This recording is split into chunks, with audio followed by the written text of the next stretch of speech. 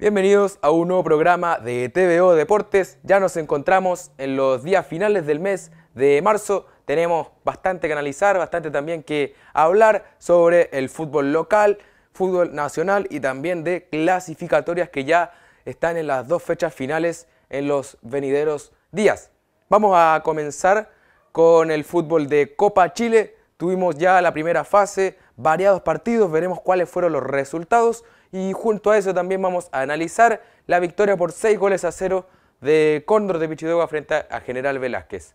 Luego de eso vamos a realizar una previa del partido que se disputará por la ronda 2 entre Velázquez y Santa Cruz y en el final del programa vamos a enfocarnos en la selección chilena que esta semana debe enfrentar de visitante a Brasil y la próxima semana recibirá en Chile a la selección uruguaya para culminar el proceso eliminatorio rumbo a Qatar 2022. El domingo 20 de marzo en el estadio Joaquín Muñoz García se disputó el encuentro entre el Cóndor de Pichidegua, que fue el local, y la visita del Club Deportivo General Velázquez. Como decíamos, por 6 goles a 0 triunfó el cuadro san vicentano.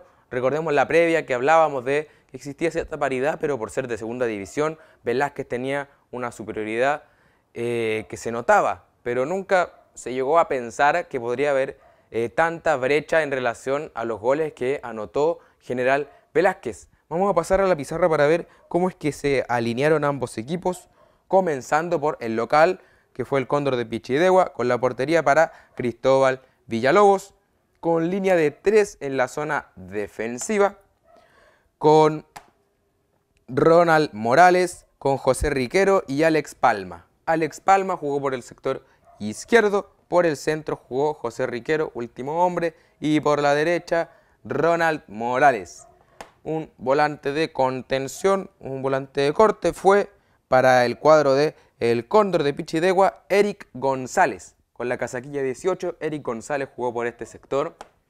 Más arriba, en la zona ya media, tuvimos a Felipe Pavés junto a Nelson Donoso el capitán Donoso y Pávez fueron los volantes mixtos que eh, tenían la función de eh, crear oportunidades de juego para el Cóndor.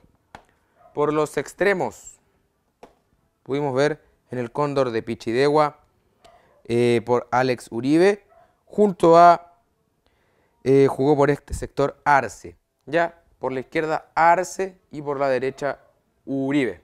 Arce constantemente se iba colocando también en el ataque para dejar más arriba a Redondo junto a Roberto Abarca. De esta forma salió a jugar el cuadro de Cóndor de Pichidegua con Arce constantemente centrándose y jugando, terminó jugando como segundo delantero y Arredondo se por acá. Entró un jugador por aquí que era un volante izquierdo, se podría decir que era Cristian Galvez y terminaba con un 3-4-3 más o menos con un Arredondo más centralizado. ¿Ya? Fueron eh, las distintas instancias en que vimos al Cóndor, cómo se iban moviendo los jugadores y que bueno, lo que se había preparado claramente no funcionó. Si bien este partido para el Cóndor era, como lo decían algunos hinchas o algunos gente del, del, equipo, que era un sueño, jugar Copa Chile, un, un cuadro amateur, poder estar presente en esta competición profesional. Y bueno, fue un partido más. Lamentablemente el resultado fue adulterado, pero el Cóndor ahora tiene que enfocarse en el torneo regional de clubes y también en la final nacional frente a Dante de Nueva Imperial. Vamos a General Velázquez, que este fue su primer partido oficial de la temporada con la portería para Brandon Obregón. Por el sector derecho jugó Ricardo Segovia, defensores centrales Manuel Olea, junto a Kevin Serrano y por la izquierda jugó Diego Salas. La defensa que habíamos previsto en la previa de este partido. Después en el mediocampo con Jorge Pavés, Juan Tobar y Patricio Troncoso.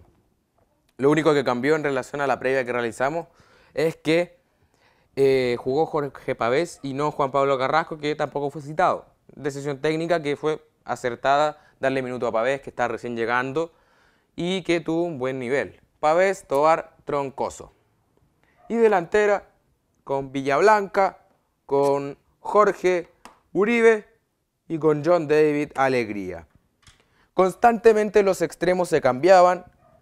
Para los que vieron el partido o lo escucharon, eh, John David Alegría y Villablanca comenzaron Alegría por la derecha y Villablanca por la izquierda. Constantemente se iban moviendo, también Villablanca centralizándose, Uribe por la izquierda. Esto demuestra que había movilidad en el ataque de General Velázquez y esto hacía que se eh, salieran las marcas, de que se desestabilizara la defensa de Cóndor, que eran tres, con el apoyo del volante contención, y que se desordenara eh, la defensa del cuadro rival. El partido comenzó rápidamente con jugadas eh, en velocidad, con salidas rápidas de General Velázquez, aparece Villablanca, la diagonal de John David Alegría, y por el centro el balón le llega muy bien a Jorge Uribe para el primer gol del partido, a eso ya de los cinco minutos. Luego de eso, en el primer tiempo, tuvimos constante eh, avance de General Velázquez, que fue el protagonista, con tranquilidad, toque a toque, y ya eh, como del 25 al 30 y al 35, Cóndor tuvo un poquito más el balón, tuvo alguna que otra llegada, con un muy buen nivel de arce, con un arredondo que a poco se iba estabilizando en el campo de juego, tuvieron dos o tres llegadas, pero que no lograron concretar. Y ya en el final del primer tiempo estaba atacando General Velázquez y se produce una falta un poquito absurda porque la había sacado un defensor, queda el balón y le hace la falta al delantero de Velázquez, el defensor del Cóndor, y termina siendo penal. Kevin Serrano, para sorpresa de algunos, es quien chutea eh, desde los 12 pasos y convierte el 2 a 0. Clave este 2 a 0 porque eh, lo que se había pensado en Cóndor ya se iba a terminar el primer tiempo, estabas perdiendo por uno, podías preparar algo en la charla técnica, el técnico, podías eh, preparar un segundo tiempo para por lo menos ir a buscar el empate. Pero con este 2 a 0 te marca un pare, te marca una línea en donde ya tienes dos goles de diferencia, estás jugando contra un equipo de segunda división, se te va eh, más cuesta arriba el resultado. En el segundo tiempo, eh, Cóndor jugó con un 4-4-2, ya vamos a graficarlo. Velázquez mantuvo el 4-3-3 durante todo el partido. Eh, hubieron algunas que otras modificaciones, por ejemplo en el Cóndor eh, salió el arquero, ya ingresó Morales, salió Villalobos a, eso del 60, 70 minutos. Pero en sí, el segundo tiempo fue, creo yo, que en un 93% de General Velázquez. Ya, dejémoslo en un 90, más o menos esos números, porque Cóndor tuvo prácticamente una sola llegada y General Velázquez tuvo 10. ¿Ya? Esto también habla de la diferencia física entre los dos equipos. Recordemos que General Velázquez es un equipo profesional que entrena todos los días, es un trabajo para ellos esto, y el Cóndor es un equipo amateur que se juntarán a entrenar una, a lo menos dos veces por semana o dos cuando tienen partido, pero no es a lo que se dedican siempre, ¿ya? Son jugadores que tienen vida, son jugadores que para ellos esto es podría decirse como un hobby, pero llevado más a fondo. ¿Ya? Entonces se comenzó a notar la diferencia física entre los jugadores. Diego Salas, Segovia constantemente avanzaban por las bandas, ya se notaba el cansancio a eso del 50, 60. Y bueno, comenzaron a llegar los goles eh, por masa. Llega el tercer gol de John David Alegría, un contragolpe formidable para el 3 a 0. Luego hay cambios, ingresa Pino, ingresa Carreño, que fueron claves para que Velázquez aumentara la ventaja. Un Tomás Pino que, recordemos, la temporada pasada jugaba de lateral izquierdo. Tomás Pino. ¿Ya? Acá ahora está Diego Sala. Y entra Tomás Pino como extremo izquierdo. ¿Ya? Entra por Villablanca. En el partido frente al Flecha San Jorge, también mismo Tomás Pino creo yo que unos 15, 20 minutos jugando como extremo izquierdo. Entonces esto ya estaba previsto por el técnico. Ya se había preparado en los entrenamientos y en los partidos de preparación. Claramente Tomás Pino esta temporada va a ser un delantero y lo demostró en cancha. Dos goles. Asistencia de Carreño, aparece el primer gol. Un golazo de Tomás Pino. Diagonal, fenomenal el disparo. Y el segundo gol, el quinto, también muy buen gol, cerquita, revienta el arco. ¿Ya? A mi parecer se estaba perdiendo en defensa el que está utilizando la casaquilla número 7 en Velázquez. Y el sexto gol, Cambio, sale Uribe, entra Álvaro López y en el 90 ya, cuando quedaba poquito, se pasa a tres jugadores de El Cóndor. Muy bien Álvaro López ahí, un tanque, un delantero centro con el oficio de goleador, de buscar siempre el ataque. Y aparece el sexto gol de General Velázquez. Vamos ahora a pasar con la previa del partido entre General Velázquez y Deportes Santa Cruz. Este fin de semana disputará por la ronda 2 el cuadro de General Velázquez su primer partido oficial de esta temporada en el Estadio Municipal Augusto Rodríguez de San Vicente de Tahuatahua, donde claramente el cuadro eh, san vicentano juega de local temporada tras temporada. En esta ocasión será contra un, se podría decir clásico rival, si bien no existe como una rivalidad de por sí, pero sí es un equipo de la zona contra Deportes Santa Cruz, que está en la primera B o el ascenso, como se le quiera llamar. Es un equipo con mayor nivel que General Velázquez, probablemente, ya debido a que está en otra categoría. Si nos damos cuenta, Velázquez va a pasar de una semana a otra de pasar a jugar con un equipo amateur a jugar con un equipo del ascenso. Entonces, el nivel debe ser más alto, ¿ya? General Velázquez eh, será el local, el partido se jugará este fin de semana, como lo mencionábamos, y vamos a pasar a la pizarra a revisar cómo es que llegan los dos equipos. Vamos a partir con el visitante, con Deportes Santa Cruz, que tuvo que cambiar de técnico debido a claramente los malos resultados de, este, de esta escuadra. Y lo que veíamos con el técnico anterior, que estuvo en las tres primeras fechas y en la temporada pasada, era una línea de tres el portero, una línea de 5 en el mediocampo, 5 mediocampistas y 2 en el ataque. En relación a los jugadores que tiene, iba viendo si usaba un volante contención o un volante ofensivo, pero siempre era 3-5-2.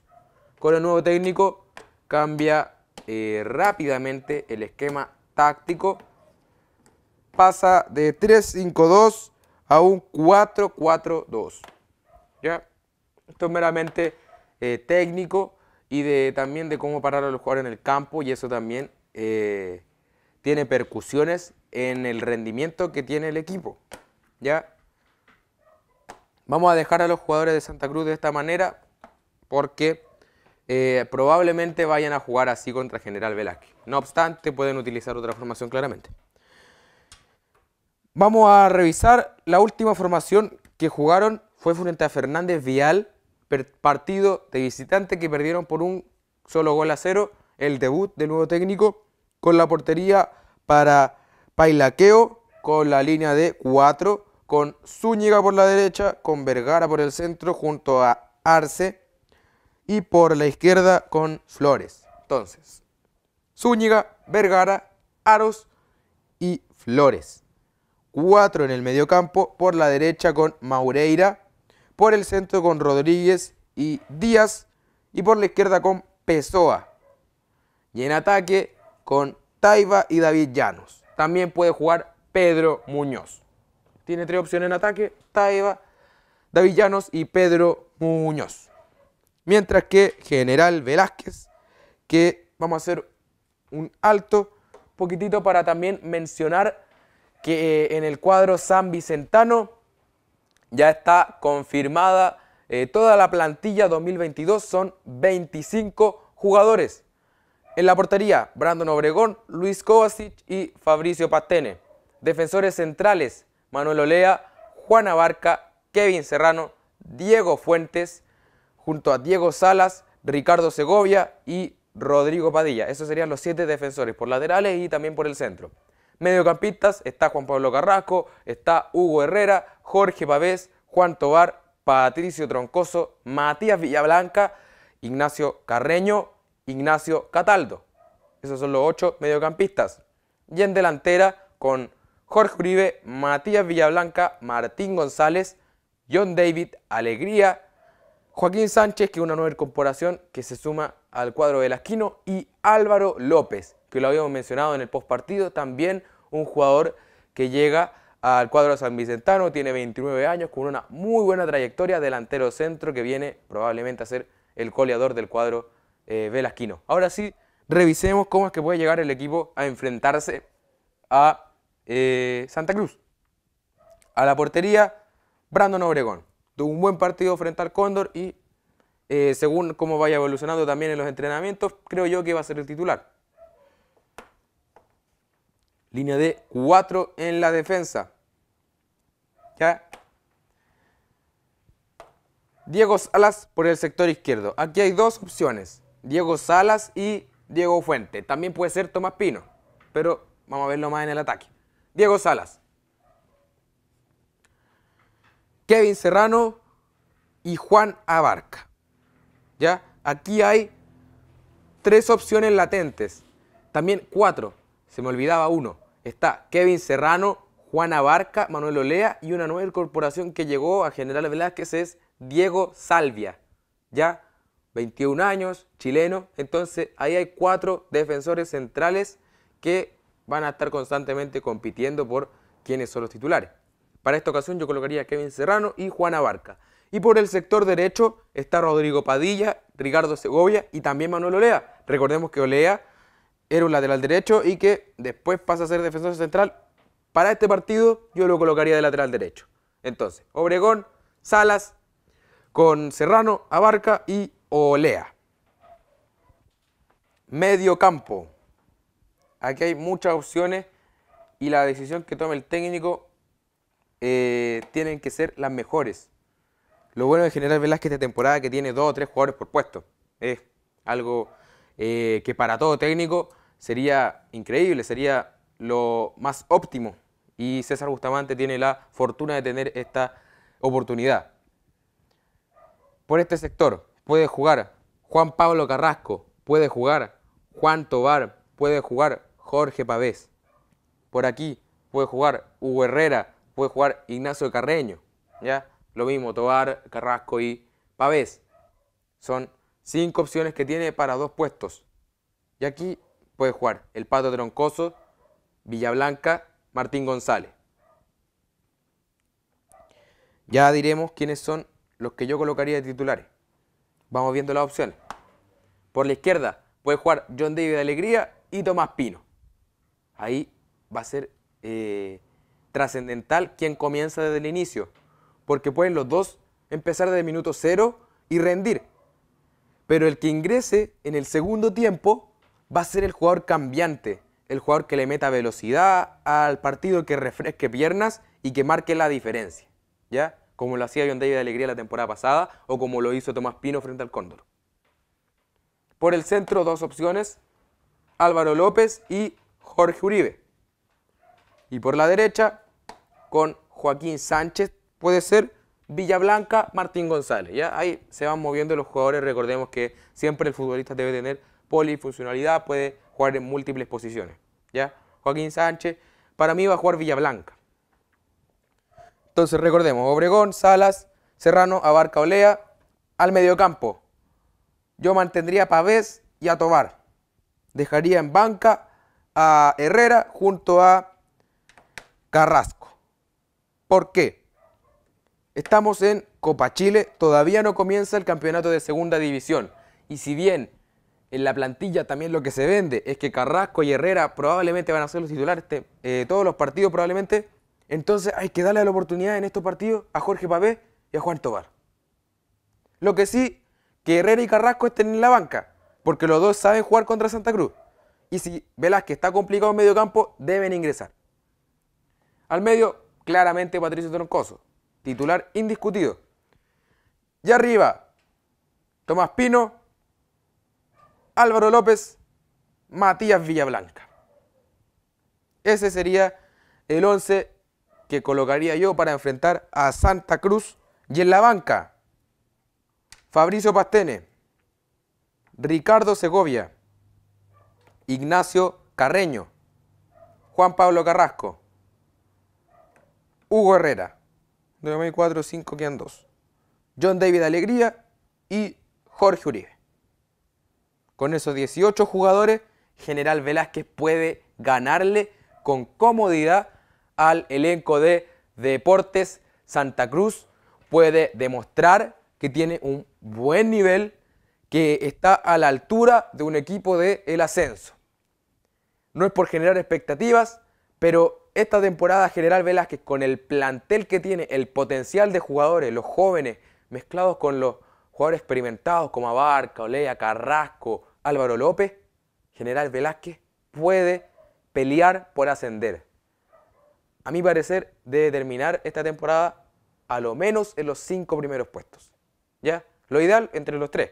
Y si asciende, sería eh, histórico también.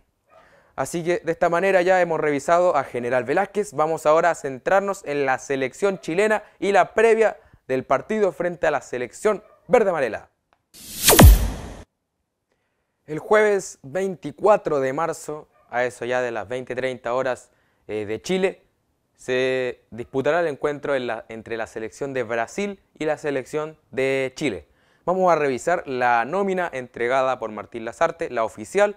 Recordemos que está eh, posibles cambios, pueden existir por las lesiones, pueden eh, de aquí al jueves puede existir alguna que otra modificación en esta nómina, pero lo oficial es lo siguiente. Arqueros, Claudio Bravo, Brian Cortés, Sebastián Pérez y Zacarías López. En defensa fue citado Mauricio Isla, Enzo Rocco, Paulo Díaz, Sebastián Vegas, Guillermo Maripán, Gabriel Suazo, Benjamín Kusevich, Gary Medel y José Pedro Fuensalida. ¿ya? Hay varias opciones por el carril izquierdo, por el carril derecho y también obviamente en los defensores centrales. En el mediocampo, Arturo Vidal, Charles Aranguis, Eric Pulgar, Diego Valdés, Claudio Baeza, Pablo Parra, Jan Meneses, Luis Jiménez, Joaquín Montesinos y Marcelino Núñez. Esas son las opciones en el medio campo. Tenemos volante contención, volantes mixtos, también ofensivos como Jiménez, como Montesinos. Hay eh, donde tener opciones de eh, jugadores que puedan utilizar distintas funciones. Y atacantes, Eduardo Vargas, Alexis Sánchez, Víctor Dávila, Ben Brereton Díaz y también eh, fue citado de último momento Ronnie Fernández. Vamos también con la selección brasileña, la verde amarela, liderada y dirigida por Tite, un cuadro que está hace varias fechas ya clasificado a lo que es eh, la Copa del Mundo Qatar 2022 y ya está jugando sus últimos partidos para también probar jugadores y ir eh, viendo cuál será el plantel, los 23 jugadores que irán a, a Qatar. Los porteros citados, Weberton, Allison y Everson. No está Ederson, es Everson de Mineiro, junto a Allison y Weberton. Defensores, Daniel Alves, Thiago Silva, Marquinhos, Felipe, Danilo, Alex Telles, Guilherme Arana y Eder Militao. Los mediocampistas son Filipe Coutinho, también está Fabiño, está Arthur Melo, está Fred, Lucas Paqueta y Bruno Gimaraes. También tienen múltiples opciones, puede jugar uno de 10, tienen volante de contención. Recordemos que en Brasil pueden llegar a haber 20 jugadores por puestos que merecen estar en la selección. Delanteros, Neymar Jr., Richarlison, Vinicius Jr., Rodrigo Góez, Anthony y Gabriel Martinelli. Un datito importante a señalar en Brasil de que no hay un delantero centro fijo que haya sido convocado, como puede ser el caso de Gabriel Barbosa o de Roberto Firmino. Vamos a la pizarra para poder revisar cómo pueden llegar estos equipos, cuál puede ser eh, los 11 que saldrán por cada lado a este partido trascendental para la selección chilena y un Brasil que ya va viendo nuevas opciones de juego. Al arco en Brasil va a ir Alison Becker. Si bien se nominó a Weberton y Everson, que son del fútbol local de Brasil, a Brasil siempre le complica frente a Chile y no va, a ir a la segura en la portería con Alison Becker. Por la derecha a mi parecer va a jugar Daniel Alves, un jugador que sabe enfrentar a rivales como Chile. ¿ya? También está la opción de Danilo. Defensores centrales va a ir eh, con Eder Militao y con Marquinhos, que ya son una frecuencia eh, de titular en Brasil. También está Guilherme Arana y Thiago Silva. Y por la izquierda eh, creo yo que va a jugar Alex Telles. ¿ya? También puede jugar Felipe por el sector del centro. Arana también puede ser lateral izquierdo creo yo que va a ir Alex Telles en el medio campo, en lateral izquierdo. Pasando al medio campo con un volante de contención y dos jugadores más adelantados. históricamente siempre Brasil utiliza esa formación en la zona media del campo de juego. Por aquí va a jugar Fabiño, recordemos que no está Casemiro. Fabiño, puede jugar Felipe Coutinho y Lucas Paquetá. Quedaría en banca Bruno Guimaraes, Artur Melo, Fred y... Ah, sí está Casemiro. Entonces, Casemiro, Coutinho y Paquetá. Banca, Fabiño, Artur, también Guimaraes y también el jugador eh, Richarlison puede ser en banca. Ahí tiene que ver las opciones porque sucede en el ataque de Brasil que está teniendo muchos delanteros a un gran nivel. Ya están en un muy buen nivel. Y hasta yo me atrevería a decir de que Neymar Jr. puede que no sea titular. Porque se le va a dar la oportunidad a jugadores que están en un muy buen nivel, como lo son Anthony, como lo son Vinicius Jr., como lo es Richarlison. Ahí ya tienes tres. Entonces, lo más obvio es que Neymar vaya a ser titular, pero no, no eh, hay que dejar fuera la opción de que vaya a la banca y se le dé la chance a jugadores como Anthony o como también puede ser Martinelli. ¿Ya? Con lo obvio, Neymar Jr., Richarlison y aquí Anthony. Creo yo que si nominaron a Anthony es porque quieren que juegue. ¿Ya? Puede que esté Neymar en la banca y Vinicius Jr., que también está a un buen nivel. Vamos con Chile la selección chilena que eh, se juega sus dos últimas oportunidades de ir al Mundial. Tiene este partido frente a Brasil y también después en casa frente a Uruguay. Esperemos sacar puntos frente a Brasil. Claudio Bravo en la portería, es obvio. Línea de cuatro en la defensa por el sector derecho con Mauricio Isla dos defensores centrales, como son eh, Guillermo Maripán y Gary Medel, son los titulares en Chile y ya se ha demostrado hace varias fechas atrás. Y por la izquierda con, eh, bueno, debería jugar ahí Eugenio Mena, pero no va a estar. Entonces está la opción de Sebastián Vegas y de Gabriel Suazo. Yo colocaría a Gabriel Suazo. A la banca Sebastián Vegas ya ha tenido sus oportunidades y ha cometido errores. Recordemos el partido frente a Brasil de Copa América. El gol de Brasil de Paquetá fue por culpa de Vegas. Entonces no pueden colocar a Vegas. Isla, Maripán, Medel, Suazo. Tres mediocampistas que juegan eh, de la misma manera que Brasil, solo que un poquito más juntitos los de Chile. ¿Ya? Con Arturo Vidal, Charles Aranguis y Eric Pulgar. Pulgar, Aranguis y Vidal, que siempre es el que está en el medio. No es un 10, no es un 5, es Arturo Vidal, que juega el medio. Y la delantera, como ya lo hemos visto en las últimas tres fechas, se podría decir cuatro tal vez, que ya está consolidada. Ben Brereton, Eduardo Vargas y Alexis Sánchez. Recordemos que no tienen una posición específica, se va moviendo constantemente. Eh, puede jugar Brereton por el sector del centro, Vargas por la izquierda, Alexis por la derecha, Alexis por el centro, Brereton por la derecha. Constantemente se van a ir moviendo y eso genera que Chile tenga eh, constante avance, velocidad, eh, cambios de ritmo y desordenar un poquito la defensa contraria, lo cual es complicado con Brasil pero nunca está, eh, siempre está la posibilidad de que pueda ocurrir algún error en la defensa brasileña. ¿Ya?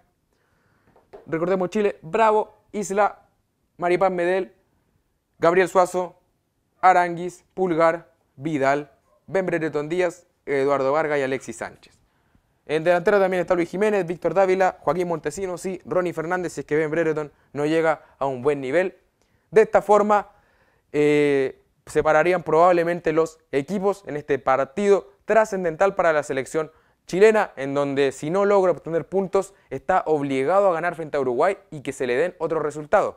¿Qué quiere decir eso? De que en otros partidos se den resultados favorables para la selección chilena. Entonces lo óptimo, lo mejor para Chile es ganarle a Brasil o empatar.